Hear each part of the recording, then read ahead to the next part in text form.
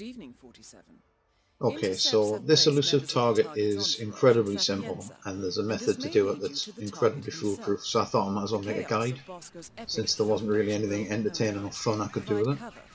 So we're going to start with the tranq gun, the electrocution phone and a lockpick, and we're going to smuggle some coins into the cafe basement. So from the start we're just going to run into town, go down behind the cafe, get the tranq pistol out and tranq this kitchen assistant, and then we're going to steal his disguise. Pick the lock on this door, then run in and get the coins out of the case. You don't need to pick the case up. And we're just going to take the back stairs up to the cafe.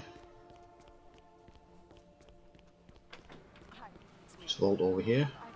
And what to do is we're going to put a coin down in front of these two guys to distract the bad boy's friend and then put the electrocution phone down to distract the bad boy. So you can see there they've both got the question marks. That's all good.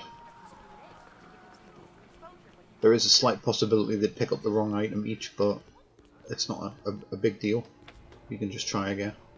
So I'm going to come back out. Now I change back into my suit um, because I can't remember and I couldn't be bothered to check if there's anyone down here that enforces kitchen assistant.